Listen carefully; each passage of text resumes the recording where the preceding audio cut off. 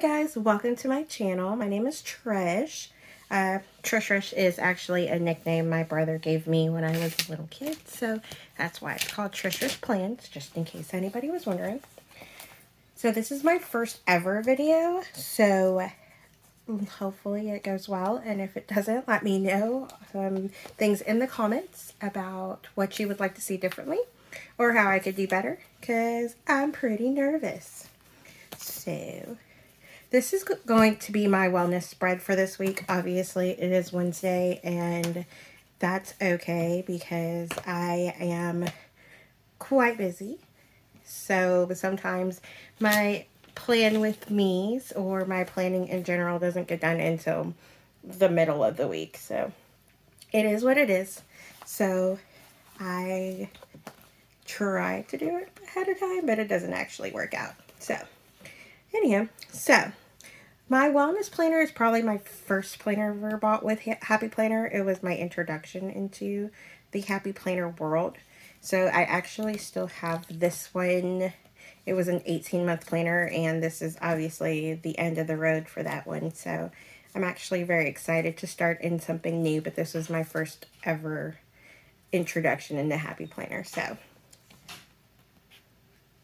alrighty.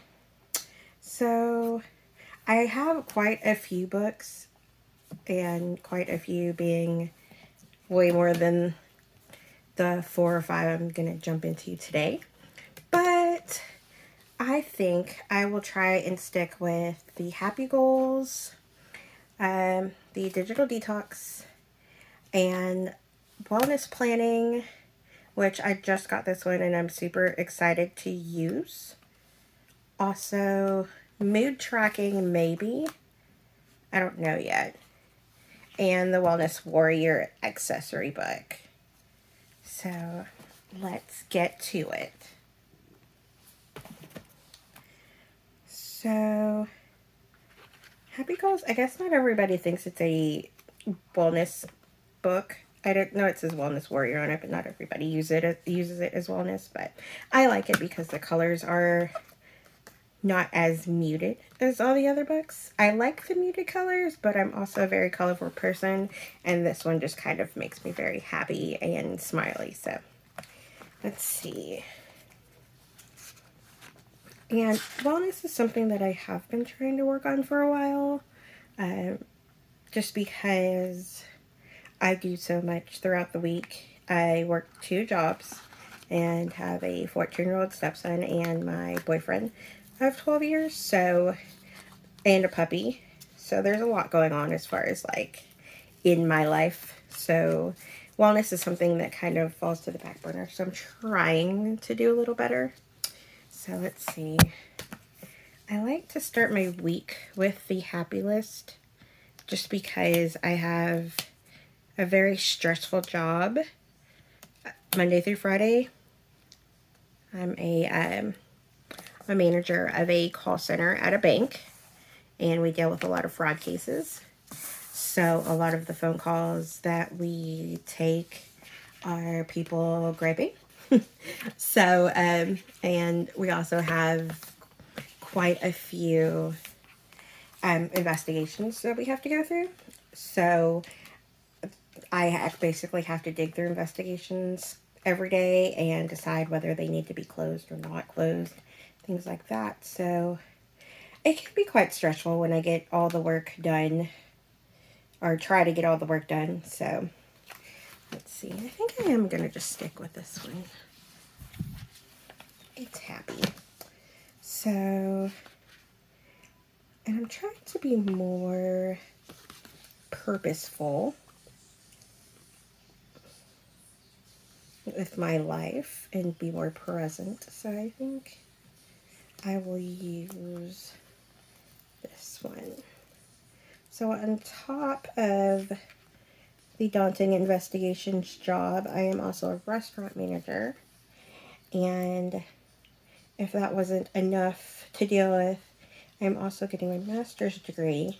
So um, it can be a little more work than I intended sometimes, but that's okay.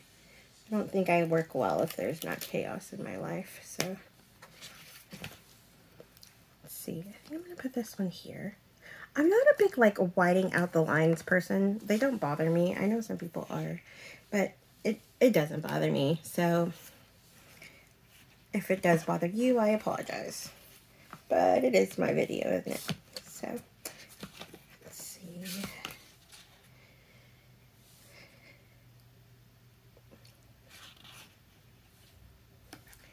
I think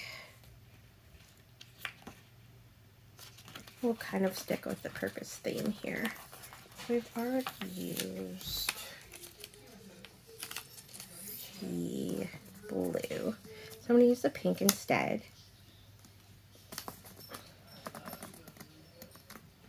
Ooh, I do not like that. So I'm not one of those that like uses sticker planing sheets. I kind of just go with the flow.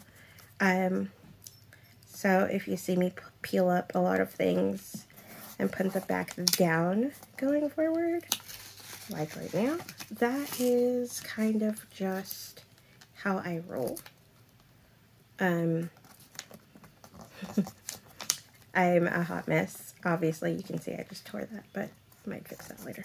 But yeah, so that's my planning style. It's really not like when everybody's like, oh my gosh, like, it's amazing and uh, talent. I'm like, yeah, it's just me playing with stickers. But, you know, spatially.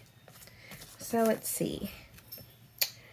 The enemy of a focused mind is clutter and chaos. I like that a whole bunch. put that here which is hilarious because if you were to see my apartment right now, it is the pure definition of clutter and chaos. But, you know, I don't always have time for things like that. Alright, so passion fuels purpose. I kind of like this here, I think. So I try to keep my wellness planner pretty functional in the sense that I don't really use it for functional purposes. Um, I like to make lists in there. I like to do a lot of reflection, a lot of affirmations. So I really don't like to um, limit my space as far as what I want to write in. I don't really put any uh, actual plans in my wellness planner just because I, I work with so many planners that um, I just don't feel the need to write all of my plans in every single planner that I have. So I think I'm going to put this here. So I do like to leave at least one kind of almost empty box. Like this one, like, you know, there's the this, but there's a lot of writing space down here. So that's kind of where I like to do. So I like to leave at least one empty box in each row. I don't really decorate down here just because I really do use these journal prompts to write. So that's really, I'm trying to be more mindful with what I've got going on. So I try, and I don't really have a lot of time to journal. So I really just try to keep those empty for that. So let's see. I think I'm going to dig into the digital detox. This one I've had for quite a while and I just really don't use it as much as I should. Honestly, it's really hard for me to detox digital, digitally because um, my school's online. I'm currently working from home for at least the next week or so. Um, and my pastimes pretty much include watching Netflix. So, um, and podcast. And so it's really, really difficult for me to unplug sometimes. I also because of the like some of the difficulties I have processing information. It's easier for me to keep everything electronic. I also listen to a lot of uh, different binaural beats to keep me focused. So unplugging completely is not something that I'm able to do. I wish I could, but I can't. So I just try to find moments in the day where I can unplug. So I think I really like this one. Especially like the reconnecting with paper and pens. That is basically the whole point of my planning journey is to reconnect with paper and pens. So that is why I do it. I can, ooh, doodles and dreams. I like that. Sometimes I like to doodle. It's very, very little, but I do like to, I like to draw chibi superheroes, which maybe I'll do a video on that one day, but I think they're really cute. So maybe I'll do one of those in there this week. We'll see. So I think that I'm going to make one of these boxes a list. Saturday is my only day off normally.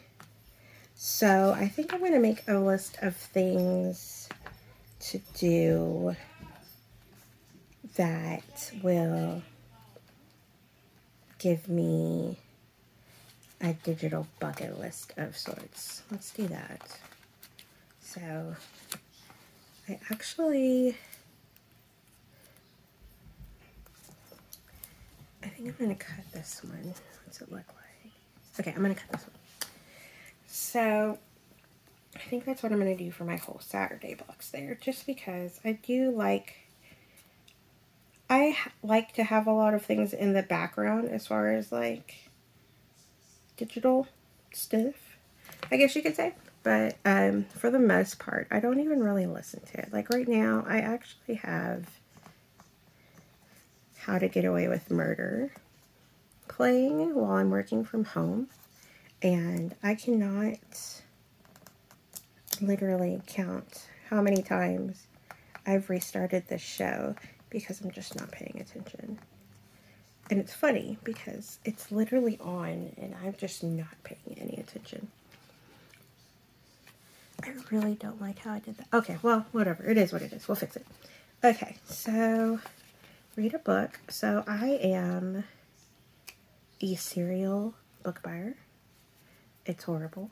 I buy a lot of books. I check out a lot of books. At some point, the city of Dallas is going to ban me from checking out books, but it is what it is. I actually currently have 17 books checked out to me from the library, all digital. Uh, and I read them hardly ever, but uh, I do like to read books. I just never really have time for it. I am also like, never let me borrow a book. You'll never get it back. I'm so serious. I have had friends who have let me borrow books and then they they're nice enough not to ask for it back, you know what I mean? Like they're not one of those people that are like, "Hey, did you finish that book because I would really like it back and you have failed to bring it back to me." But they also know that I'm not going to bring it back unless they ask for it. So, it's one of those like it cracks me up because people are so nice about it because I'm horrible. I'm just a horrible person when it comes to bringing books back and or reading them for that matter. So when people are trying to be very nice and to let me know that like I've had their book for a year now and I haven't brought it back, like they either just go ahead and buy themselves the new version of their book or they really will actually be like, "Hey, can you bring that back?" And I do sometimes and sometimes it'll take another six months before I actually remember to bring it back because let me tell you, my memory is awful. It's awful, awful, awful. Which is funny because you would think with all the planners and lists I have, I would remember to do things, but oh contraire, I do not. So let's see. I'm going to put go to bed early. So I have a final paper due on Friday. And I am a serial procrastinator. So I'm going to try and get the paper done on Friday before midnight. But I can guarantee you I won't. I won't even start it before like a midnight, which is horrible. But I will try to. That's the goal. That's the goal every day, actually, is to get my homework done before it's time for me to go to bed. But it doesn't actually work out sometimes. So, let's see, read a book, do a puzzle, take a nap, organize closet, go to bed early. I think I'm going to try a new recipe. This is a lot of ambition for this week, I can tell already. And it's not really going to work out. But we'll try it. So, and if it doesn't work out, I think I'm just going to leave a space that says it didn't work out because I had way too many ambitions for one person in one day. So, okay. I think that's enough. I think I've overcommitted as it is. so, okay. I think I'm going to add an affirmations box. I like to try and do an affirmation in every section of my planner just because I feel like, you know, you can have multiple as affirmations for every aspect of your life. And that's something I really do try to do. I mean, I may not say it every day. It may not be like necessarily the greatest mantra approach in the world there is, but I do try to visualize and manifest certain goals. Sometimes it works and sometimes it doesn't, but that's completely okay with me. Like right now, I'm currently interviewing for a job, and um, well, I've interviewed. I'll say that I've interviewed already for a job, and I'm just waiting to hear back. And unfortunately, due to the the timing of the holidays, it is possible, and it's looking very likely at this point, that I'm not going to hear back until January. So, um, which kind of really sucks because my job's a huge dumpster fire at the moment, and I really need to get out. But it is what it is. So, I I don't like that empty space right there. Okay. but, um, yeah, so I'm really just trying to be patient. You know, that's all I can do is be patient and have faith. And, you know, I, I interview really well and that is something that I pride myself on is that I do interview really well.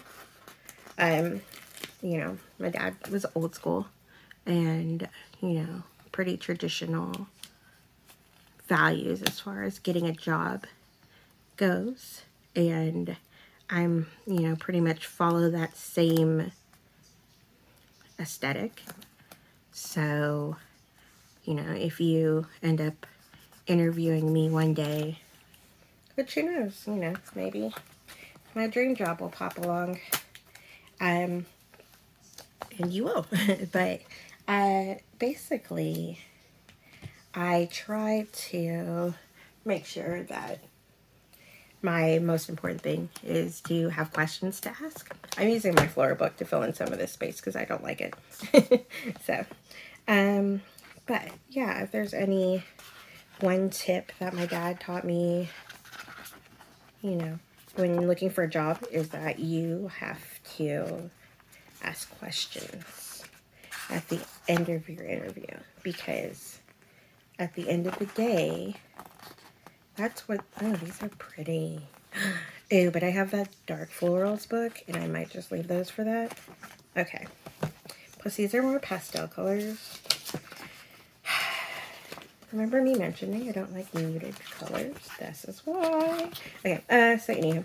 Anyway, so, number one tip as far as interviews go. So, my dad always said you have to ask questions at the the interview. And not like how much does this job pay questions, right? You have to ask meaningful questions. So, my most meaningful question I will share with you guys. And don't just start stealing my stuff, right? No, I don't care, really. So my most meaningful question I ask people when I'm getting interviewed is if I am not the right person for the position, then what skills should I work on? Should the position reopen up? Now, why do you ask, why would I, you ask that question? It makes you sound like you're not confident in your skills. Of course you're confident in your skills, right? But you ask that question because it puts in an interviewer's mind that you really want the job. Like this isn't just something that you're going to apply for and if you don't get, you're not coming back. It leaves in their mind that, hey, she, she seemed pretty serious about this and maybe if it doesn't work out, you can call upon her when things fall through.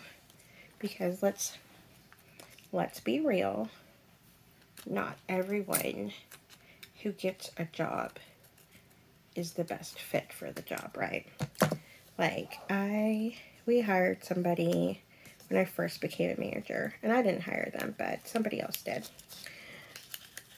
I made it. That's made that sound very horrible, but what it is what it is. Oh no, I think I messed up. Anyway, so there was this person that they hired for the job. So basically, this person was going for a supervisor position, but I got it. So they um, they asked the guy who was interviewing. You know, looking inward, I don't really type or write a lot for that, so I'm just going to cover it a little bit. There's still space, but it is what it is. Anyway. So they asked, you know, they asked if he wanted to do the analyst job, which is what I was leaving anyway, and they needed to be both five. So they, he said, sure, I'll do it. Well, he ended up being like the worst employee ever, like ever. So there was one guy who was really good for the job but didn't get it, and we ended up having to crawl back to him a couple weeks, months later and saying, hey, guess what? We should have hired you. And so, yeah, that's why you ask those questions because when you leave that impression in somebody's mind that you still want the job, even if you don't get it, they'll come back to you. Okay, so I think this is all I'm going to do for this one. But since you guys are here, I'll go ahead and fill out this this part here. So I'm going to say the positive word of this week is going to be hope. Because we're going to just hope I get the job. no, I feel like I got it. I'm just waiting. You know, manifest. Uh, so reading. So one of the books I am reading this week is The Nest. I've restarted this book, I think, like 15 times. Again, City of Dallas. I swear to I'll re I'll return it when I'm done and stop. I will stop rechecking it out. But it's pretty good. It's interesting. So listening to. So I am a true crime fanatic. And I am currently listening to Tom Brown's Body, which is an unsolved in Canadian, Texas. And it was done by Texas Monthly, who does really great true crime articles. So, and it's, um, the hostess Skip called Hollandsworth, which if you don't know who he is, he's one of the better true crime columnists, especially for the Texas Monthly Magazine. So super excited about that. I'm like four episodes in and it's quite interesting. So if that's kind of where you're at as far as like a true crime fanatic, I would listen to it. Feeling, I would say feeling, hmm. I'm only going to put apprehensive just because I am. There's a lot of things going on that I just kind of have my my antenna up, just kind of monitoring, watching. So currently I am watching How to Get Away with Murder. I'm almost done with it. I'm literally on the last episode right now. So I'm probably not going to be watching this all week. Usually in the background I'm watching I Survived or Cold Case, which is on Roku right now and they're threatening to take my cold case away. So I keep watching it. So, anywho, all right. So I think this is all I'm going to do for this week. I probably might do an after the pen just to kind of see how it ended up and what I ended it I ended up filling it up with. But uh, right now, that's what I'm going to go with. And yeah, so if you liked this, let me know in the comments below. Like and subscribe. Also, uh, you know, head over to my Instagram, check out some of my stuff. And I will see you at another time. Bye, guys.